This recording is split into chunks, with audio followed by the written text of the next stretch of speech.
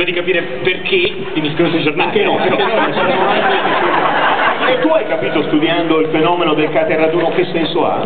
Cioè, noi sono nove anni che sfugge, ma continuiamo a rifarlo. Il senso del caterraduno? Sì, sì. Ma senza il caterraduno credo che siano tutte le persone che sono qui davanti oggi e che vengono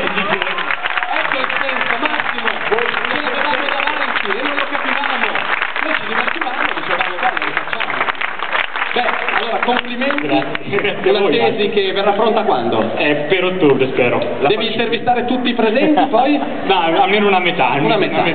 La facciamo da solo o la copiamo su internet? La prima parte la copiamo, logicamente. Perfetto, perfetto. Una vera tesi dell'Università Italiana Riccardo Sini, grazie. La leggeremo assolutamente, salutando tutti i figure. No, non è meglio,